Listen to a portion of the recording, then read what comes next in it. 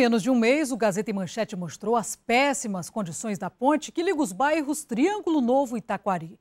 Com vários problemas estruturais, os moradores reivindicaram e o então prefeito em exercício, Juraci Nogueira, afirmou que outra ponte seria construída. Nós retornamos hoje ao local e acompanhamos o andamento da obra.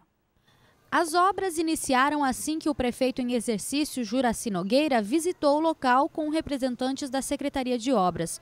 Em loco, os gestores identificaram a urgência da intervenção.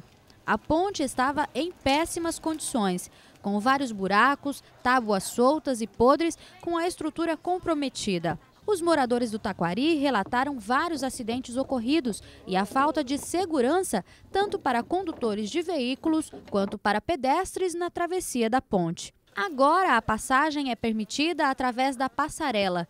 Dona Francisca está ansiosa pelo término do serviço. Com a ponte depois que quiser ficar melhor, graças a Deus, né? A expectativa dos moradores é pelo término da obra, mas principalmente por uma ponte que ofereça mais segurança que a antiga.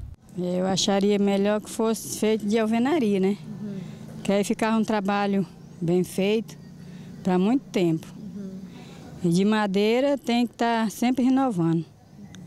De dois em dois anos, né? Sempre está renovando. Eu estou vendo esse serviço aqui de muito prestígio né, para as pessoas que moram aqui nesse bairro.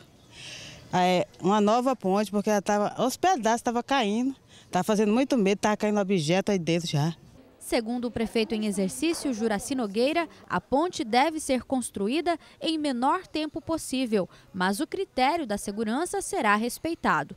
Mesmo com a atual construção em madeira, ele afirmou que não desistiu da ponte em concreto. A prefeitura está atenta à obra, né? a secretária está sabendo que tem que ter urgência, mas uma urgência que não venha prejudicar os trabalhos.